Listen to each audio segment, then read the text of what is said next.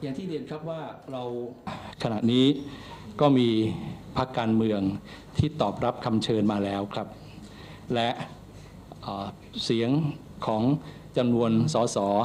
ตามที่ได้มีการประกาศของคณะกรรมการการเลือกตั้งอย่างไม่เป็นทางการนะครับ เมื่อนับรวมกันสำหรับเฉพาะพรรคการเมืองที่ตอบรับคำเชิญมาก็เกินกึ่งหนึ่งแล้วนะครับ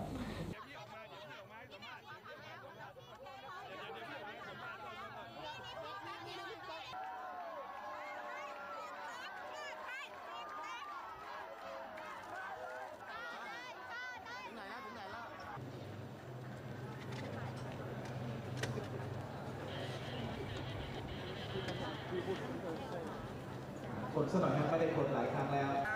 อันตรงกลางครับ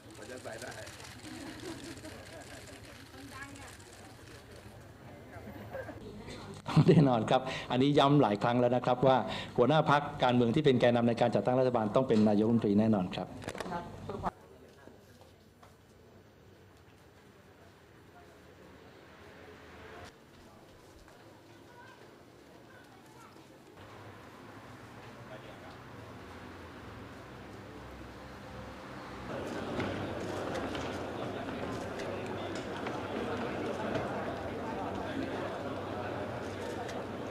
uh, is a vindication for Thaksin. He will feel emboldened by this result uh, as a uh, invitation for his return,